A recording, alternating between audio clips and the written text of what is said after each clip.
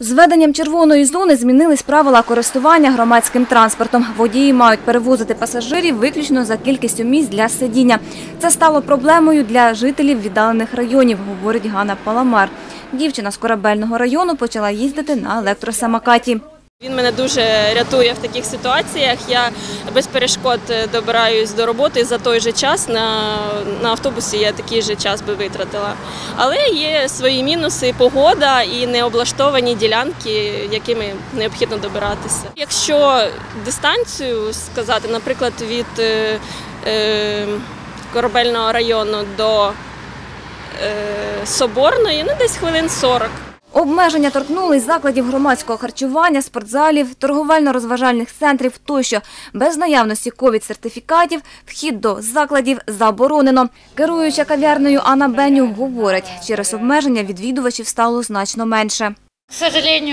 На жаль, ми не можемо приймати відвідувачів усередині. Працівники у нас повинні бути вакциновані обов'язково. Багато людей зробили другу вакцинацію. Люди можуть прийти замовити каву. Ми зробимо на виніс з собою і, будь ласка, гуляємо біля парків на вулиці. На жаль, поки що не можемо приймати. Майстриня манікюру Валерія Карцева розповідає, в перший тиждень червоної зони клієнтів у неї стало значно менше. Перші два тижні, звичайно, було менше людей. Одна-дві людини на тиждень, тому що всі були налякані, так як боялись, що в маршрутках вимагатимуть сертифікати. Піднялася паніка. Зараз стало з цим полегше. Їх попереджаю, що із собою необхідно брати сертифікати чи негативний тест. Прошлом... Якщо минулого локдауну виділялося 8 тисяч для всіх працівників, зараз такого нічого немає. Але ми знаємо, що 3 листопада президент доручив прем'єр-міністру розробити такі пільги. Вони стосуються орендної плати.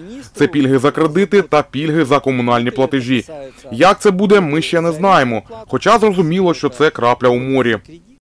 За місяць перебування Миколаєва в червоній зоні мобільні групи щоденно перевіряють заклади громадського харчування, продовольчі та непродовольчі магазини на дотримання карантинних обмежень. За період карантину е, в нас було вже от наразі на вчора, е, ну по моїм даним, це 9945 е, об'єктів, які були перевірені за цей час. І якщо взяти загалом всі перевірки, то більшість з них була в складі мобільних груп, але окремо були перевірки, їх проведено то теж більше тисячі, коли фахівці просто теж про споживслужби, як моніторингові групи ходили вносили роз'яснення, розказували, як треба дотримуватись, відповідали на ті нагальні питання, які виникають у суб'єктів господарювання.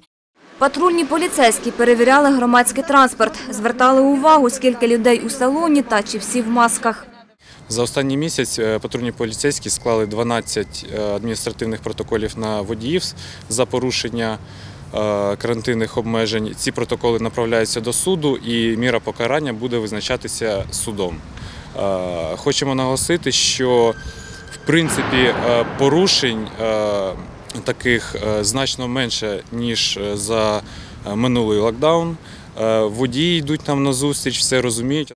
Заступник голови Миколаївської облдержадміністрації Юрій Гранатуров розказав про проблеми, актуальні для Миколаївщини в червоній зоні. Ну, Перша саме велика проблема це дуже велика кількість захворюваних. Вона просто була на межі можливостей е, медичної системи нашої. Е, Проблеми з киснем, які періодично е, теж були. Проблеми з швидкою допомогою, яка просто фізично не встигала в пікові дні робити це дуже швидко. Ну, багато чого іншого. Паніка серед людей. За цей час в області розгорнули 2560 ліжок. Нам іноді кажуть, поставте е, ліжка в спортзалі, то в нас вистачає місця, в нас вистачає ліжок, в нас навіть вистачає ліків, нам не вистачає лікарів, анестезіологів, інфекціоністів, фахівців, медичних сестер, санітарок. Ось що потрібно. Станом на 26 листопада Миколаївщина продовжує перебувати у червоній карантинній зоні. Ніна Булах, Юлія Філімон, Василь Філімон, Сергій Коропятник, Євген Сержук. Новини на Суспільному. Миколаїв.